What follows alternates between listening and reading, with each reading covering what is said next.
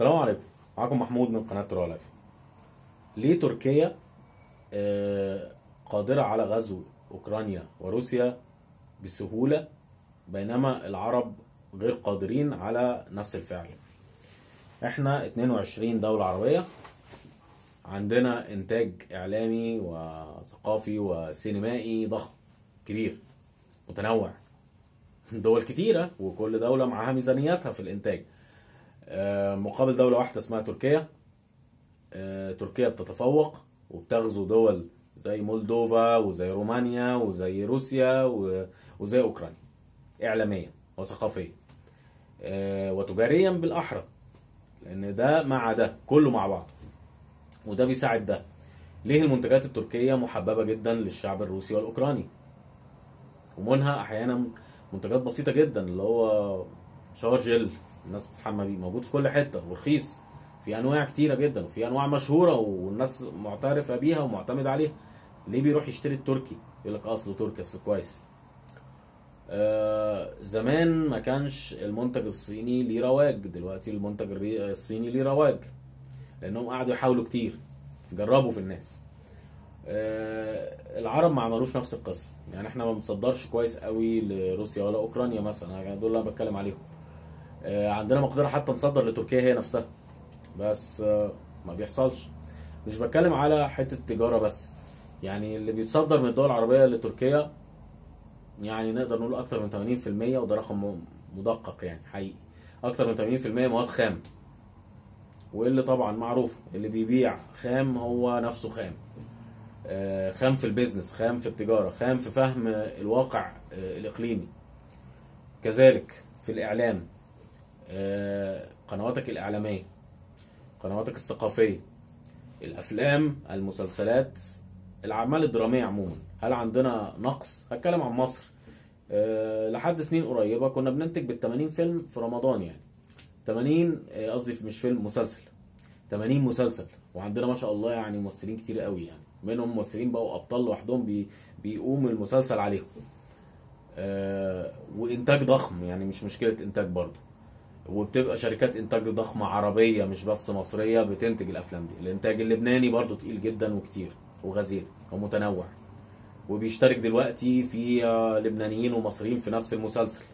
وسوريين وبتبقى إيه خلطة حلوة جدا. طيب الكلام ده ما بيتوصل ما بيتوصلش للدول اللي بره ليه؟ تركيا نفسها جدا في الموضوع ده.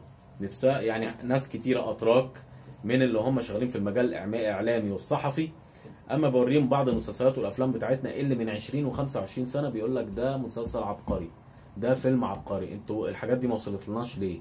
ده عندنا زيه تركي واحد يقول لك ده في مسلسل تقليد المسلسل بتاعكم تركي اتعمل سنة 2001 وانتوا عاملينه سنة 86 مصر. مسلسل هند والدكتور نعمان. يعني في مسلسلات كتيرة وأفلام وأعمال مصرية يعني مثلا إيه المرأة المجهولة. فيلم عربي قديم مصري. في زيه بالظبط اسمه مجهول قادم تركي. وما واللي مثل فيه اتنين من كبار الأبطال الأتراك وقتها إيه، سواء البطل أو البطل. فبدون ما نخش في تفاصيل آه، أنت قادر ولكن آه، ما جاش على بالك. كعرب إن إحنا نغزو ونعمل دوبلاج ونخش روسيا وأوكرانيا وثقافتنا تتروج أكتر. أنتوا عارفين يعني آه، قبل مسلسلات التركية ما تغزو آه، روسيا وأوكرانيا كان اللغة العربية ليها رواج عامل إزاي؟ ودلوقتي بقت عاملة إزاي؟ اللغة التركية كانت بعد اللغة العربية مثلا بمرتبتين يعني في الرواج أكتر حاجة طبعا الإنجليزي اللغة العربية كانت رقم ثلاثة أو أربعة والتركية كانت ستة ولا حاجة. دلوقتي اللغة التركية بقت رقم ثلاثة واللغة العربية بقت رقم خمسة أو ستة يعني تدهورنا في الرواج وحب تعلم اللغة العربية. ناس كتيرة كانت يعني تقول لك أنا أتعلم عربي على ناس روس يعني. أتعلم عربي عشان ناس كتير عايزة تتعلم عربي. لكن دلوقتي في آخر سبع سنين آخر ست سنين اللغة العربية مش مهمة قوي زي زي ما كان زمان. رغم إن قبل كده ما كانش فيه أفلام ولا مسلسلات. لكن آه، أما في حاجة جت مكان حاجة خلاص. هي. المسألة مش صراع بيننا وبين الأتراك أو عنف أو آه، سيطرة أو كده. لا مجرد إن أنا ثقافتي. الناس تعرفها. دي جنب دي ممكن نمشي جنب بعض على فكرة. أنا يعني هما الأتراك ينتشروا وإحنا ننتشر والبرازيل والمكسيك برضو مسلسلاتها تيجي على روسيا وأوكرانيا ليه لأ؟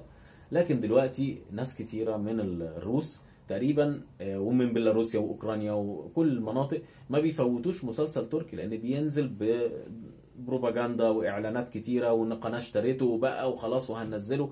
وتركيا إنتاجها السنوي من المسلسلات مش زي مصر خالص. 25% 20% من الانتاج المصري السنوي في المسلسلات رغم إن مصر معظم إنتاجها في رمضان شهر رمضان.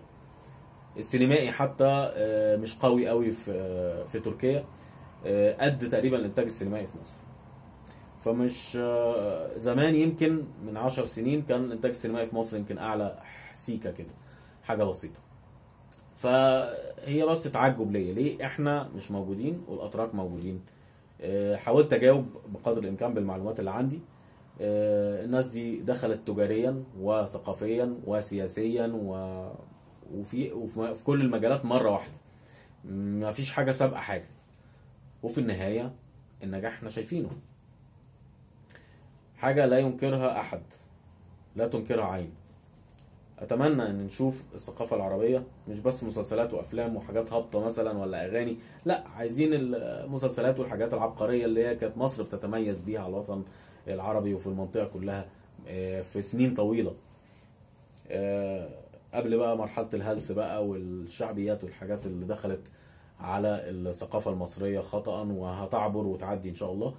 آه، نهاية الحلقة خلاص. هي مش دعوة يائسة لا دي دعوة بناء ودعوة تقدم وإن منتجاتنا فعلا يتروج لها بشكل كويس آه، في روسيا وأوكرانيا وبيلاروسيا. نشوفكم على خير. في حفظ الله. السلام عليكم. السلام عليكم.